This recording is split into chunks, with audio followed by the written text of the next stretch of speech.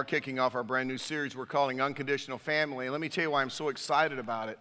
My guess is as we sit here this weekend, many of you, if you were honest, you would say that doesn't exactly describe the family that I grew up in, this idea of unconditional.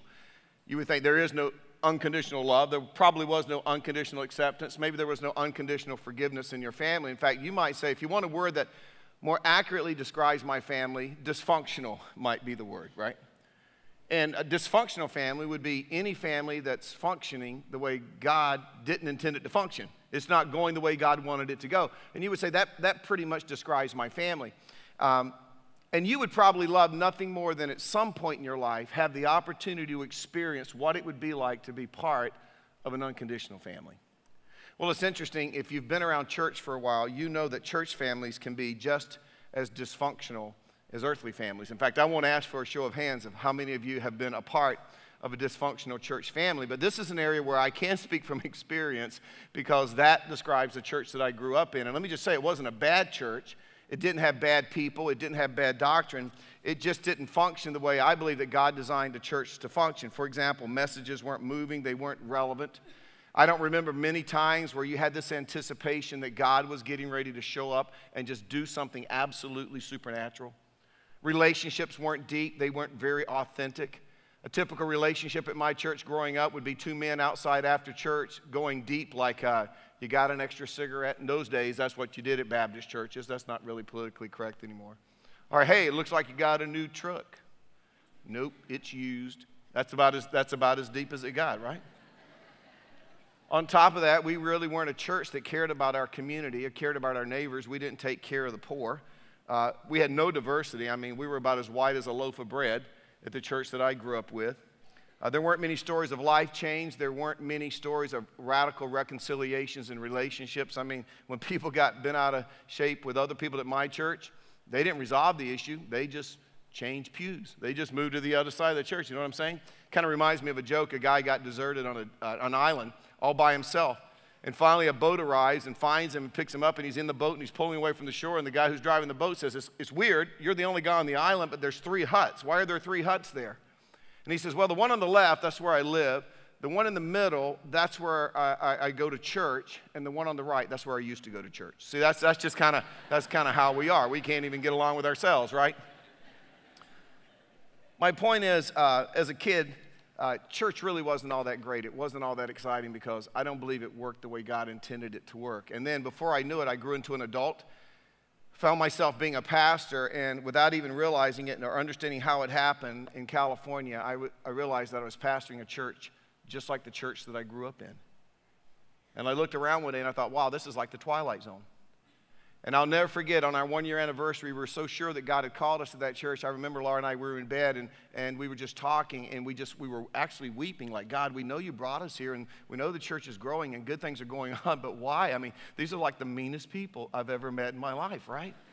And uh, so to get away, I needed to get away, to get away from the staff, to get away from the people, even to get away just from the buildings. I decided that I was going to attend a conference down in Southern California. It was called the, Past, uh, the Purpose Driven Church Conference.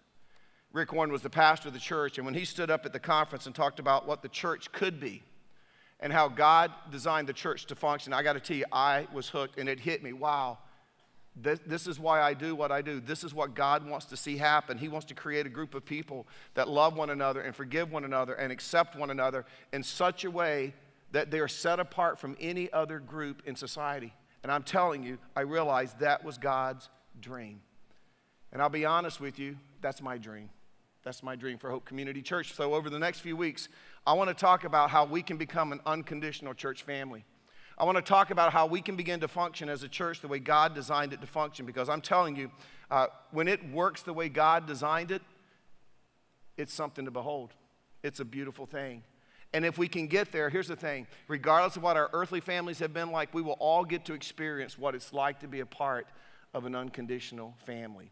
So, over the next few weeks, we're going to look at a family value, not a family value in the sense of from a, you know, politics love to talk about family values. We're going to be looking at a church family value each week. This week, we're going to begin by talking about the power of unity because this is what I know whether it's an earthly family or a church family, wherever there's disunity, there's dysfunction. So let's talk about why unity is so important to us becoming an unconditional family. If you have your Bibles, turn with me to Joshua chapter 1.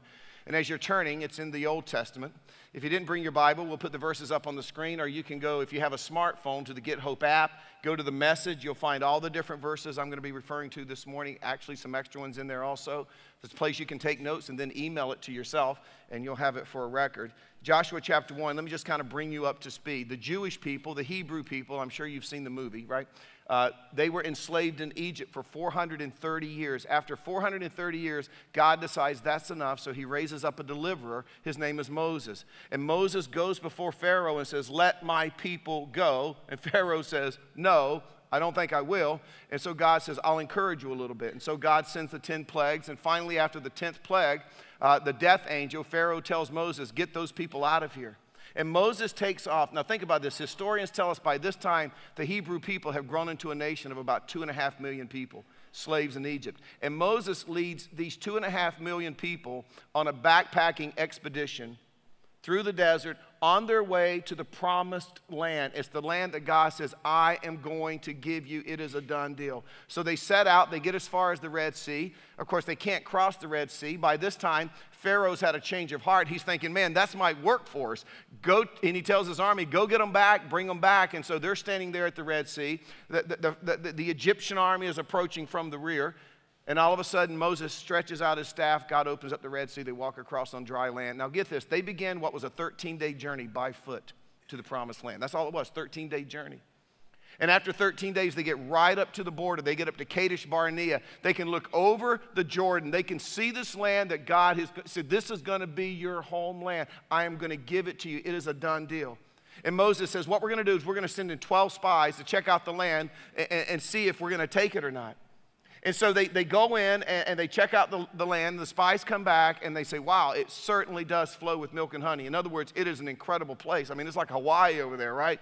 However, there's some problems fortified cities, strong armies, and we even saw some giants in the land.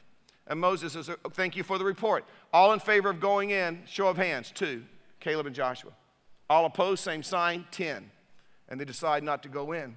And God's like, I told you I was going to give you the land. You got to trust me. Since you don't trust me, I'm going to give you 40 years to think about it. And so they begin wandering in the desert for 40 years. When you get to Joshua chapter 1, that 40 year period is over. They're back right at the border, right at the edge of the promised land again. A whole generation has died off in the desert. Moses, their leader, has died. And now they're standing back at the border, back at the edge, looking over into the promised land. A new generation with a new leader named Joshua. That's where I want to pick up the story. Joshua chapter 1, verse 5. God lets Joshua know, as the new leader, Joshua, you can count on my presence. Look what it says, Joshua 1, verse 5. No one will be able to stand against you all the days of your life. As I was with Moses, I will be with you. I will never leave you nor forsake you. Be strong and courageous because you will lead these people to inherit the land I swore to their ancestors to give them. Be strong and very courageous. Be careful to obey all the law my, Moses, my servant Moses gave you. Do not turn from it to the right or to the left, that you may be successful wherever you go. Keep this book of the law always on your lips. Meditate on it day and night, so that you may be careful to do everything written in it. Then you will be prosperous and you will be successful. And that doesn't mean that they're going to be rich. It means that when they get there, they will find themselves in the sweet spot of God's will. And I'm just going to tell you, when you are in the sweet spot of God's will, as we're going to see this weekend, you become invincible. You begin to realize God is with you and you develop that God confidence, and you're able as a Christian to handle any challenge that comes your way. So, Joshua, he steps into this role, big sandals to fill. He's filling the sandals of Moses, right? And he steps in to be their leader, to lead them into the land. But what I want you to see are the amazing things that they were able to accomplish because they were a unified group of people. Here's the first sign of unity. I'm going to give you four this weekend. You'll notice that they rallied around God and their leader without fear. Now remember, these guys have never stepped foot into the promised land. They can see over the Jordan. They can see it's right there in front of them. But see, they've, they've heard stories through the grapevine. I'm sure their parents and grandparents told them stories about how when they were there 40 years earlier, they found out that the cities were fortified and the armies were strong and that there were giants in the land. But this time, when these guys get to the border, brand new generation, a little friskier than the other generation, they're ready to go in. There's no doubt about it. I want you to notice how they respond in chapter 1, verse 16, when Joshua begins to lay out the plan about what they're going to do as they go into the land. Verse 16, they said, uh, Whatever you have commanded us, Joshua, we will do. Well, that's cooperation, right? And wherever you send us, we will go. That's availability. They're saying, We are all in, we're behind you 100%. Just as we fully obeyed Moses. Now, let me just say that may be a stretch. Because if you've read Exodus, I don't think they fully obeyed Moses. It kind of reminds me of the old bumper sticker the older I get, the better I was. I'm not sure they really remember how they really acted under Moses, but I think they're trying to encourage Joshua. Just as we fully obeyed Moses, so we will obey you. That's commitment. Only may the Lord your God be with you as he was with Moses. Whoever rebels against your word and does not obey your words, whatever you may command them will be put to death. I'm telling you, that's loyalty only be strong and courageous. That's encouragement. So, just in this ver- these three verses, you've got cooperation, you've got availability, you've got commitment, you've got loyalty, you've got encouragement. I just want you to know those are words that describe a unified group of people. And it's easy to make statements like that when there's really nothing on the line, but if you've read the story, you know the plot thickens. Up until now, it's all been fun and games. Nobody's had to fight, nobody's had to take out a sword and take someone's life. Even the Jordan opened, a miraculous miracle by God, just so that they could walk into the land. But when they get into the land, immediately, immediately they're faced with the city of Jericho. And if you're new to church and didn't go to Sunday school, you're probably thinking, well, what's the big deal with Jericho? But if you grew up in Sunday school, what's the big deal with Jericho? The wall. The two of you that went to Sunday school, that's really cool. Remember, Joshua fit the battle of Jericho and the wall came. See, that, it's that wall. It's that wall. It's this big wall. And thanks to archaeologists, we know it's not really a single wall, it was a double wall. The outer wall was about 12 feet high, 6 feet thick. There was about a 12 foot space. And then there was an inner wall that was about 12 feet thick and it was about 30 feet high. And uh, for us, that may not seem like a big deal. I mean, we got drones, right? But for people who basically spent their life backpacking around the desert, uh, these aren't military people. It might as well have been the Great Wall of China, right? So they're facing this wall. And that brings us to Joshua chapter 6, verse 1. Now, the gates of Jericho were securely barred because the Israelites. In other words, they had surrounded the city. And so, like, let's shut the city down. No one went in, no one came out. Now, no one went out, and no one came in. Then the Lord said to Joshua, See, I have delivered Jericho into your hands along with its king and its fighting men. So again, God says, Look at the city. Trust me, it's a done deal. Verse 3 Joshua, he begins to give Joshua the plan for taking the city. And this is where it kind of gets to be a cool story. March around the city once with all the armed men. Do this for six days. Have seven priests carry trumpets of ram's horns in front of the ark, not Noah's ark. That would have been way too heavy, way too big. This is, this is the Ark of the Covenant. You've seen that movie. On the seventh day, march around the city seven times with the priests blowing the trumpets. When you hear them sound a long blast on the trumpets, have the whole army give a loud shout. Then the wall of the city will collapse, and the army will go up, everyone straight in. And it's an incredible plan because it is so ridiculous. It is so ridiculous. But you know what the real problem is? Now Joshua's got to take this plan that God has given him and he's got to go back to his leaders. He's got to go back to his military commanders, the people, and explain to them how they're actually going to take the city of Jericho. Can you just imagine that conversation? Joshua says, Grab your clipboards. Let me give you the, me give you the battle plan. This is how it's going to go down. First of all, we're going to get up tomorrow morning on Monday and we're going to walk around the wall once. And the military commanders are thinking, Yeah, we got to do that. We got to stake it out. We got to see what we're up against. And then we're going to get up on Tuesday and do it again and we're going to do it again on Wednesday. And he said, We're going to march around at one time every day for six days. Now, here's the big one. On the seventh day, get a good night's rest because we got to march around seven times. By the way, uh, archaeologists, those of you who are going to Israel with me in, in March, uh, the, the, city of Jericho, you'll see, you'll see the walls, how they collapsed in on each other, on, the, on themselves, just like the Bible says it did. But it's only 14 acres. Uh, it's about the size of the Raleigh campus parking lot, right? And so uh, they marched around. He said, We're going to march around it seven times. And then as we are coming around on the last turn down the home stretch, the priests are going to blow the horns. We're going to shout, and the walls are going to collapse. Any questions? And you know, these commanders are thinking, Has Joshua? But see, here's the beauty, beautiful part of it. Even though the plan is totally illogical, you don't see any resistance. You don't read of any reluctance. Why? Why, why was there no resistance and reluctance? because they're unified. Plus, they're not Baptists. They're not Baptists. So, so you can pull this off with Baptists. You couldn't do this with Baptists. Where two or three more, two or three Baptists are gathered in God's name, there are at least four opinions. So, so not with these people, right? You don't see anybody in the tent saying, wow, this, is, this plan just stinks. Or can we at least take a survey on this? Or you know what, Joshua didn't ask my opinion. I'm not going to participate. None of that's going on. They're like, okay, we're going to walk. Sure, put on your Nikes. Let's go. By the way, These are not the Israelis of the 21st century. You watch the news, you look at them wrong, they will drop a bomb on your head. I love the Israelis. I mean, they just don't mess around, right? These guys, they're not fighting men, they're backpackers, they're walkers. They walked out of Egypt, they walked across the Red Sea, they walked around the desert, they walked across the Jordan. God must have thought, well, they're good at walking, let's go with their strengths. We'll just let them walk around the city for a while, right?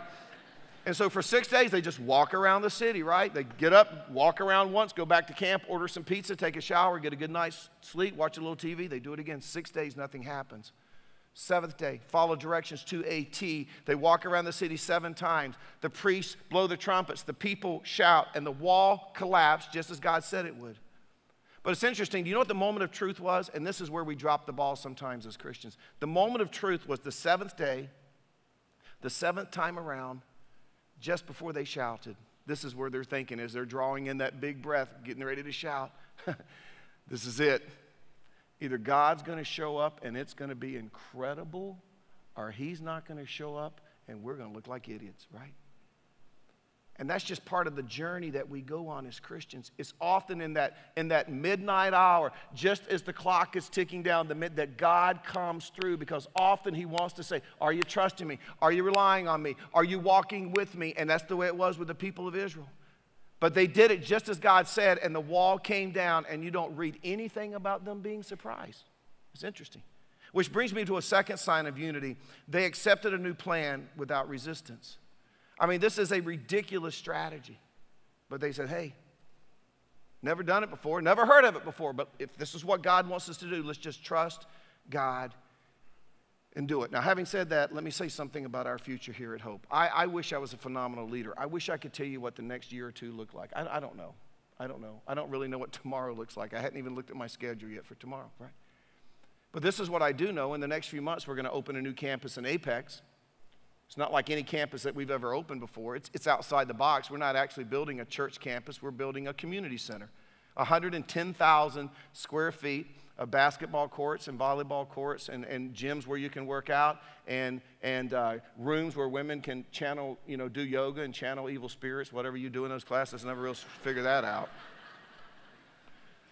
Uh, coffee shops, a daycare that will take care, I think, of 325 children, all designed how can we engage with the community, build relationships, and introduce them to the life changing message of Jesus Christ, right? And then on the weekend, it's going to be transformed into one of the most incredible 1,500 seat uh, worship centers with Kid City. And it's just going to be a phenomenal. But I got to tell you, we're going out on a limb. We've never done anything like this before. And I wish I could sit up here and tell you exactly what the results are going to be, but you know what? This is what God laid on our hearts. I remember where I was sitting and what meeting when we were talking about building a church campus, and it was as if God smacked me upside the head and said, I got a different plan. I remember right where I was. We're going to try it. We're going to try it. But see, God has been faithful enough. We trust Him. We trust Him. But that's just not the only thing that we're going to do. I want to show you something that's going to help us reach the triangle and change the world. And for those of you who are really into technology, you're going to say, Mike is doing something with technology unheard of. That just tells you how ridiculous this plan is. But I want you to watch this short video, and then I'm going to tell you how God has allowed us to use this to change the world. Watch the side screens.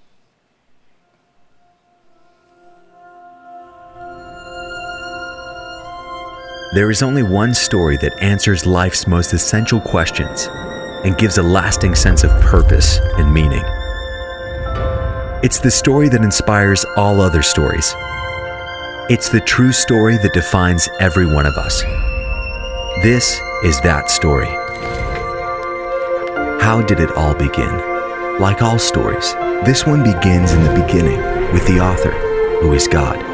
He spoke everything into being with a word, galaxies appeared with stars and planets. Earth was designed for life to flourish. Everything God made was gloriously good and breathtakingly perfect. The highlight of God's creation was the first man and woman, Adam and Eve. God entrusted everything he created to his beloved children, giving just one rule. They were not to eat fruit from a specific tree. They lived in loving obedience, worshiping God as their heavenly Father, and enjoying perfect harmony with creation, each other, and God. Considering our world today, It's obvious perfect peace didn't last.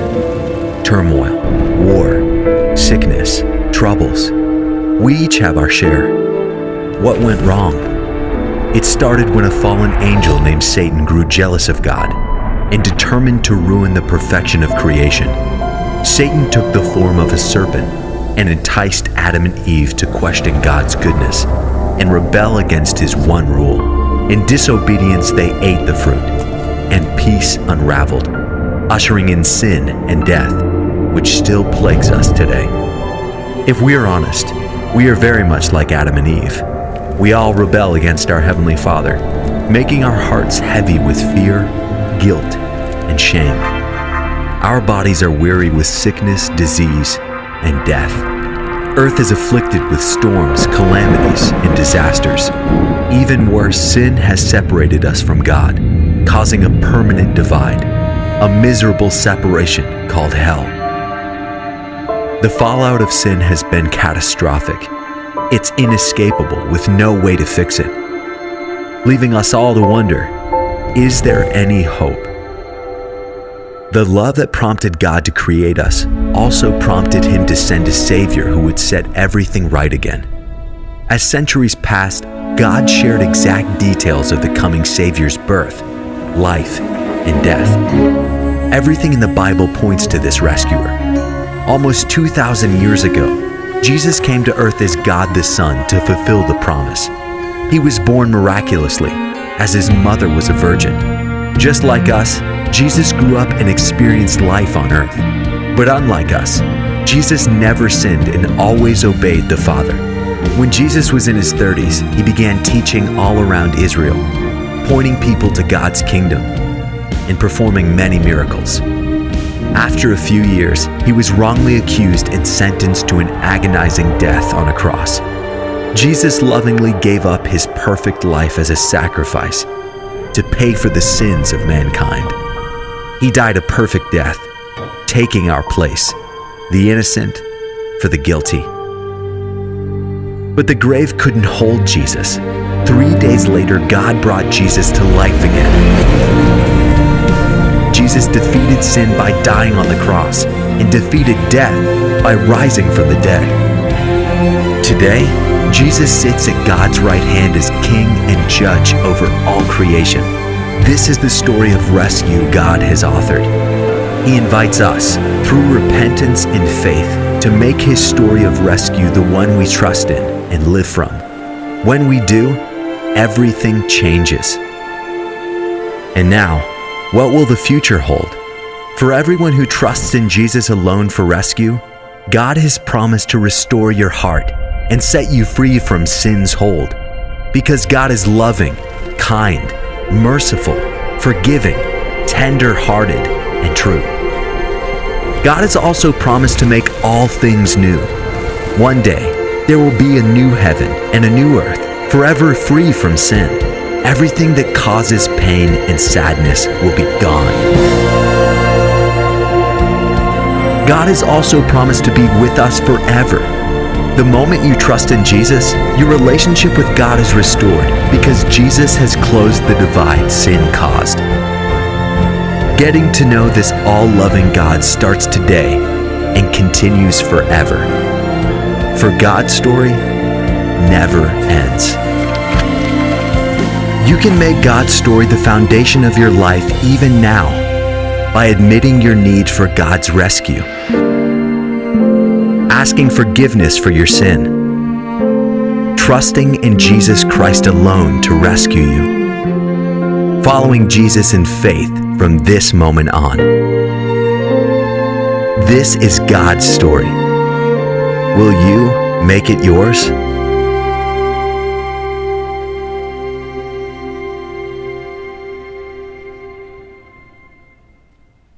Is a video that was put together by an organization called Spread Truth. I think it is one of the most complete, succinct presentations of the gospel you will ever see in your life. Now, they have made it available to Hope Community Church. We're the only church on the planet that I get to, that gets to make this announcement this weekend. Can we put the slide up? If you go to the website or if you go to the app, if you just go to the Get Hope app and you go to the home page, the very the first thing that comes up is the story. You can download, you can sign up, you can get that app, and then you can send that app to any person you want to send it to. Right now, it's available in English, Portuguese, Spanish, Swahili, Russian, Korean, Arabic, and they're continuing to spread the languages with Transworld Radio. And every time you send this to someone, they've set up a dashboard for Hope Community Church, and we literally get a map of the globe. And every time somebody opens that and sees the gospel, a light will come on. And then when they send it somewhere else on the globe, a light will come on. And I just looked at the one last night from, last, uh, from the services last night, and it's already started to spread throughout the United States. But think about this every person that hears this gets to see the gospel. You say, well, Mike, this, this would never work. Let me tell you a story. Spread Truth pasted this on their Facebook page. There was a young man in Kuwait who was getting ready to take his life, went to Facebook to make his final post, came across the story, responded to them and said, I accept Jesus Christ, I accepted Jesus Christ as my Savior. Thank you. I'm telling you, you have no idea who in your life right now may be ready to see that story. And if nothing else, it may open an incredible conversation. Or you may be sitting at a coffee shop and say, Man, I know you say you're a Christian and all, but really what's that all about? It's hard to share the gospel, isn't it? But you know, you can just set your phone down and say, Well, just watch this for six minutes, right? And this is what the gospel is all about. Now, this is what I'm going to challenge us to do. I want us to download it and I want us to pick maybe five or six people, but I don't want you to just do it now. I want you to pray about five or six people in your contact list who you know their life could be impacted if they yielded to the gospel, what Jesus Christ has done for them. And I want you to go home and I want you just to send it to them. And let's begin to see, let's begin to see it move. In a couple of weeks, we'll show you where it's going across the globe and the impact that you're making here, but it fits right in with us reaching the triangle, changing the world. And I think God is going to do some absolutely amazing things. Again, we've never done anything like this before. But the bottom line is we're going to try some new stuff, and we're just moving forward on our vision of reaching the triangle, changing the world with this absolute confidence with God that He's going to bless it because He's blessed us in the past. Joshua had never seen this strategy before, but he said, Let's do it. And they did it. And I'm just simple enough to believe that the same kind of thing can happen with us. And I think that's the exciting part of being a unified group of people, a unified family on the move. When you get to chapter 8, these Hebrew people, they've arrived in the city of Ai and they're a little bit gun shy because God had given them a plan for Ai and they didn't go by God's plan, so they got their butt kicked.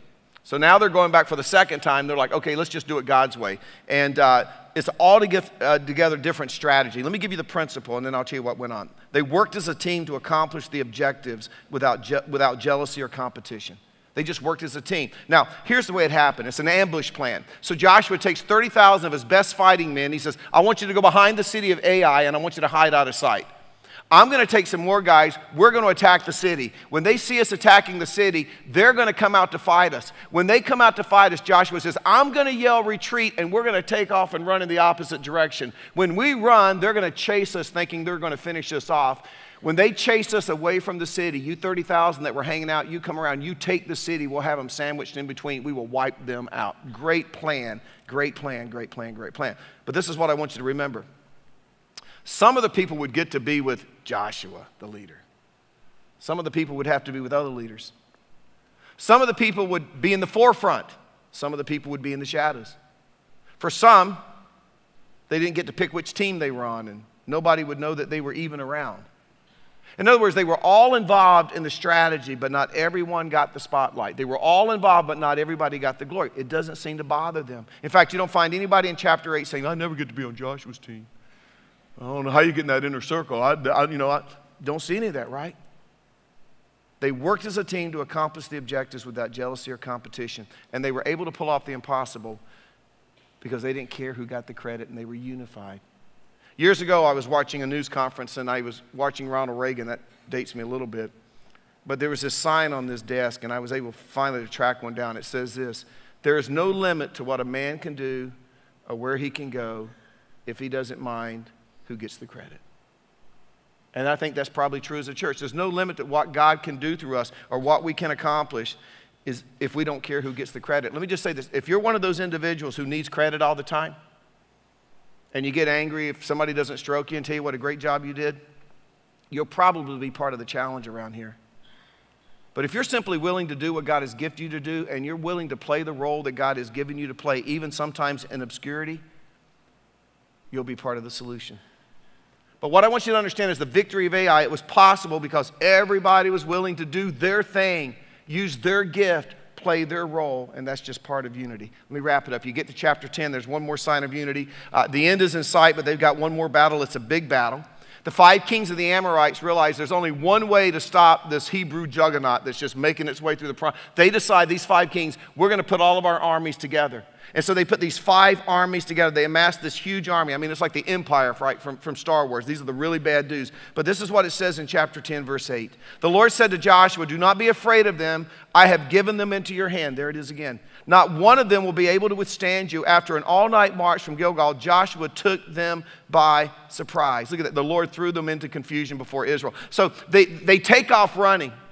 And as they take off running, the Israelites go to chase them, and God says, You know what? They're tired, they're exhausted.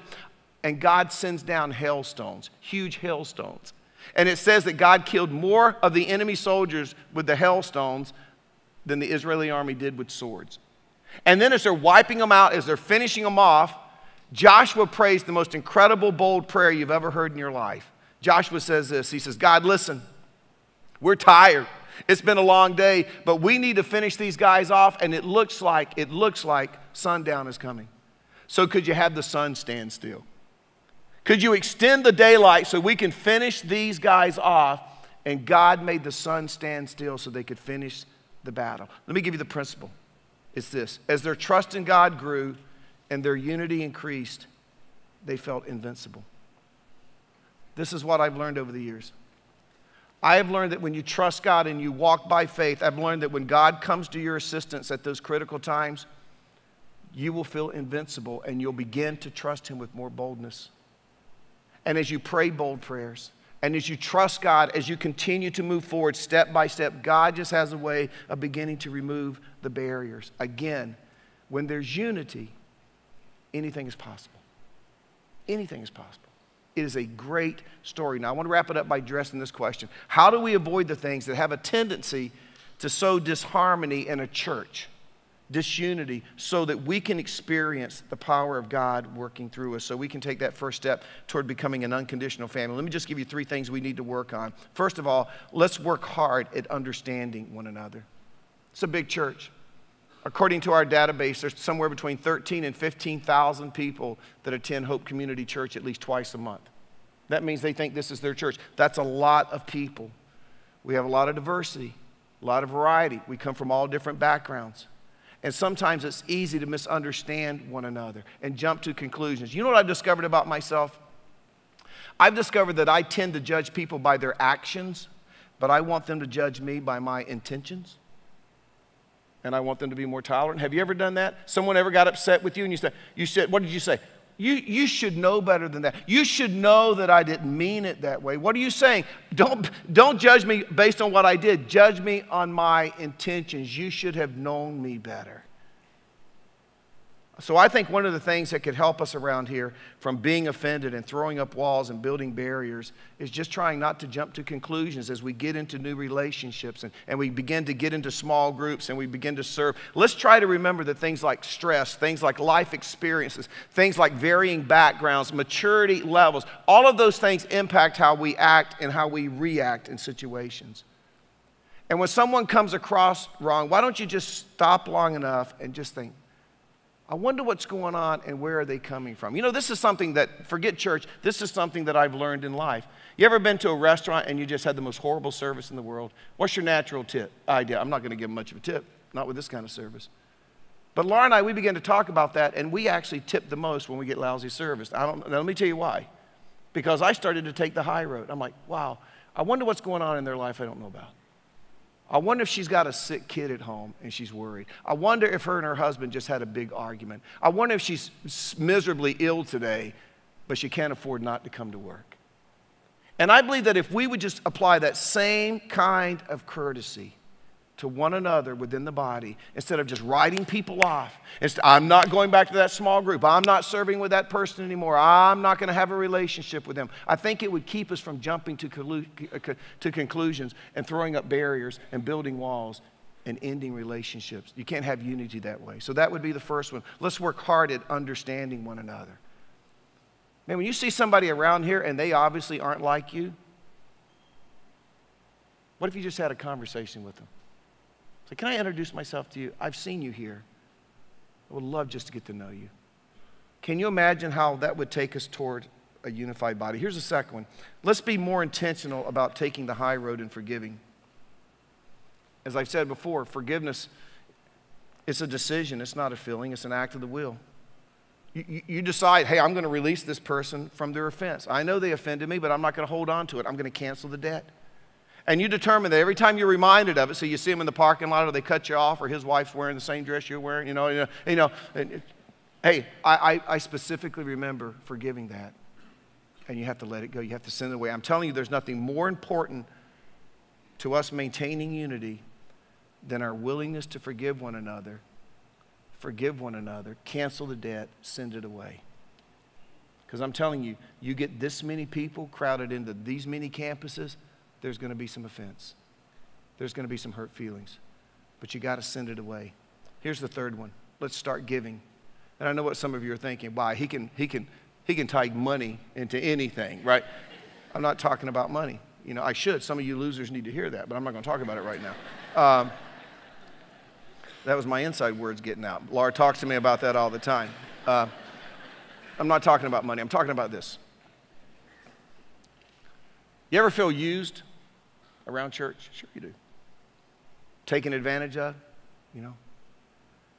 When you feel used and taken advantage of, give them, give them your prayers. You say, Mike, that's the most illogical thing I've ever heard in my life. This is what Jesus said in Luke chapter 6, verse 27. What did he say?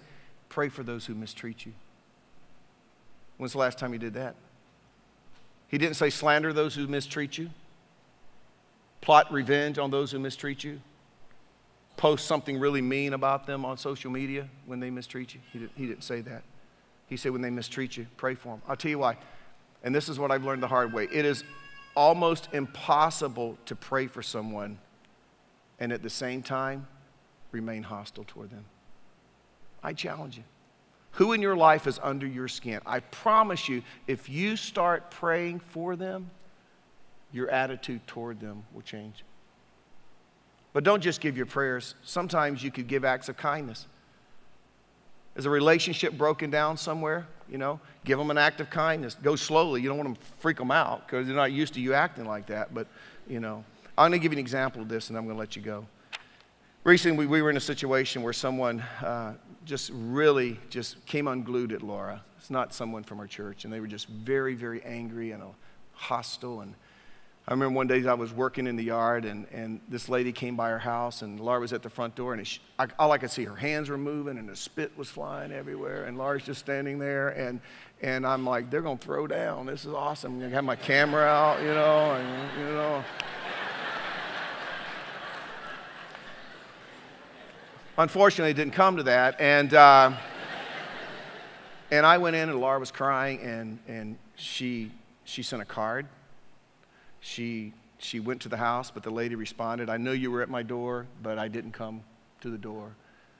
So Laura responded to her email, and I read the email before Laura sent it. It said, I don't know what happened. I am so sorry. I don't know what, what impression you got, da da da da da.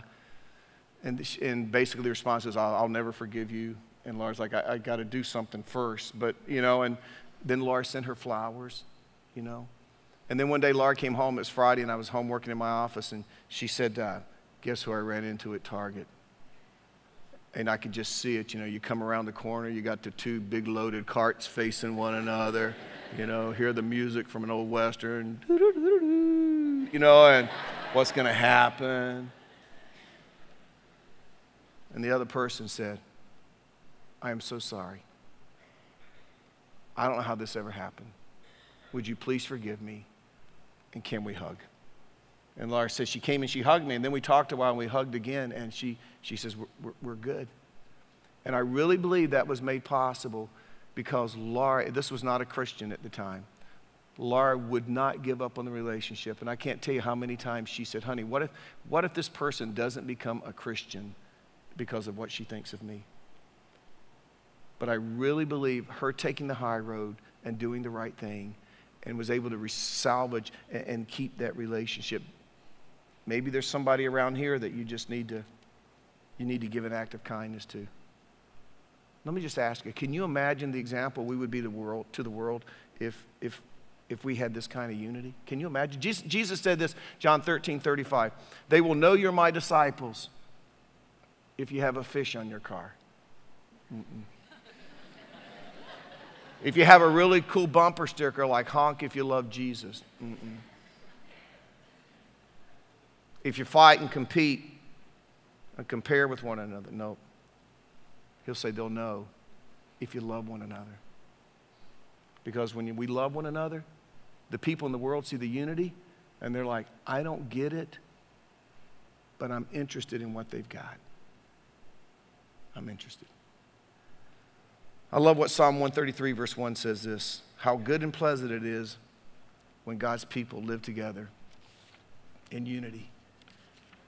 Now, tonight is family night, vision night, 4:30 tailgating, bring your cornhole boards and footballs and I'm going to bring a cigar, offer up a burnt offering, and uh, right before we come in, very spiritual, and um, bring your fried chicken or grill, whatever you're going to do. I don't care. But we're just going to, wouldn't it be cool just to get together and hang out and get to know some new people?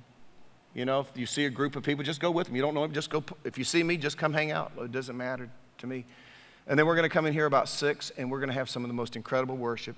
I'm just kind of cutting the team loose tonight, like, do it, baby.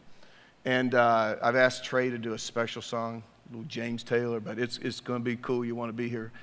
And then uh, uh, we're going to talk about where God's leading us. You're going to meet some brand new staff. See, in a big church like this, it's hard, but we got some of the coolest new staffs with some of the newest ministries, opportunities that you need to be aware of. We're going to update you on the Apex campus. And I'm just going to share with you for a few minutes uh, just a couple of things that God has really passionately laid on my heart about how we as a church begin to do church differently and I'd love to have you guys to be a part of it. Next week at each of our campuses, we're going to be talking about what would it look like as we begin to be unleashed out of this building and we begin to impact our own communities. What's our strategy for each of our campuses and what does that look like? And I'll just tell you, I'm excited about where God is taking us. And as I love to pray all the time, God, let us do something so great for you that is absolutely doomed to fail if you don't show up. We want to make sure He gets all the credit and all the glory. So do me a favor, come out tonight. We're going to have a great time together. Keep you for about an hour and 15 minutes. And I think you'll go home. I think you'll go home encouraged about what God's doing here at Hope Community Church. Let's pray together. Father, thank you for your love to us. And that while we were yet sinners, while we were actually your enemies fighting against you, no desire to be in a relationship with you, you gave us your only begotten Son to die for us.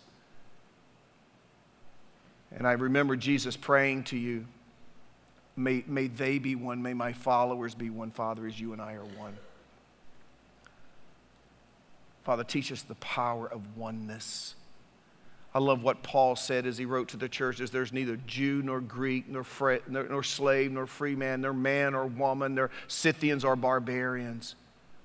They're all one family. Unity.